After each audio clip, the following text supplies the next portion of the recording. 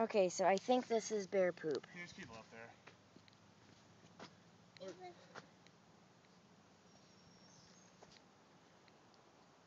And it's very quiet.